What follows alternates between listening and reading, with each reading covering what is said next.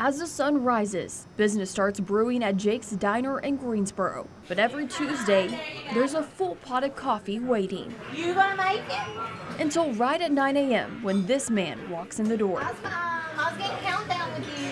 What you got over there? You got two minutes to go. I look forward to every Tuesday because if I don't see him, I know that there's something wrong.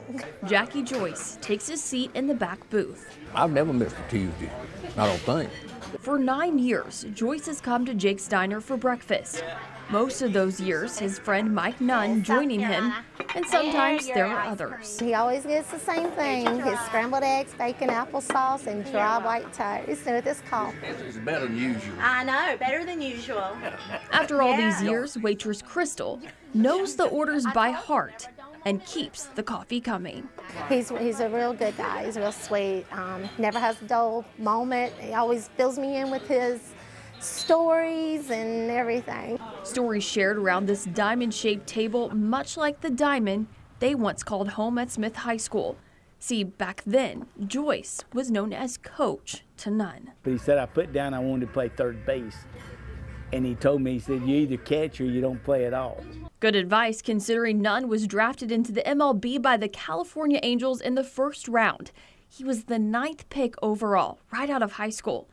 Nunn attributes that to Joyce's coaching. I've played six years of pro ball, and uh, he's probably one of the best coaches I've ever had. Back in the 60s, everyone wanted to play for Coach Joyce, especially after leading his teams to two state titles. But 30 years later, it's not the stats or the championship games Coach Joyce and some of his former players talk about around the table. It's the memories they've made off the field. Just to be able to sit here and talk to him about things, of good things, bad things. Uh, he's sort of like a second dad to me in a way. Nunn says after he retired, Coach Joyce invited him for breakfast on a Tuesday at 9 o'clock.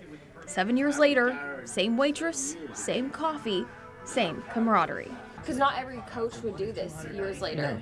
Why? Why did you do it? Why do you That's think it's so important?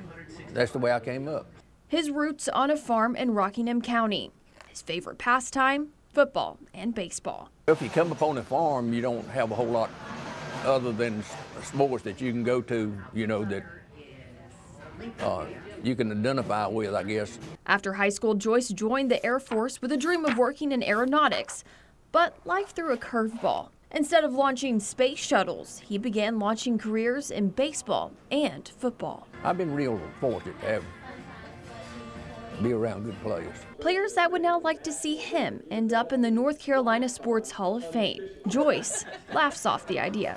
He says the game was never about the wins, it was the relationships that he still holds dear and likes to cherish over a cup of coffee uh, All all life is just keep on keeping on. every Tuesday morning.